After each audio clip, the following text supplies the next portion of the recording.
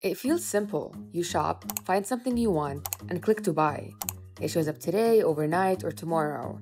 We've gotten used to that speed, but that convenience comes with a climate cost. Companies rush to meet fast delivery windows, which means less consolidation, emptier trucks, and more fuel burned.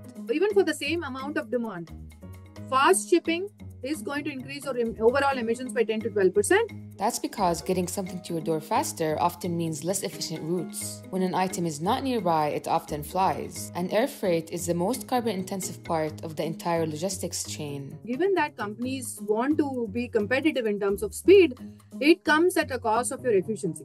Your vans are half full, multiple trips to the same location. But slowing down, even a little, makes a big difference. When you delay the shipping by one to two days, it results in a 36% reduction in CO2 emissions. And then when consumers further delay their shipping by three to four days, there is a resultant impact of, you know, 56% reduction in emissions. Retailers say they're trying to cut emissions with different delivery methods. So when you can, bundle orders, skip the overnight option, and plan ahead. Slower shipping can be cheaper and is one of the easiest climate choices you can make.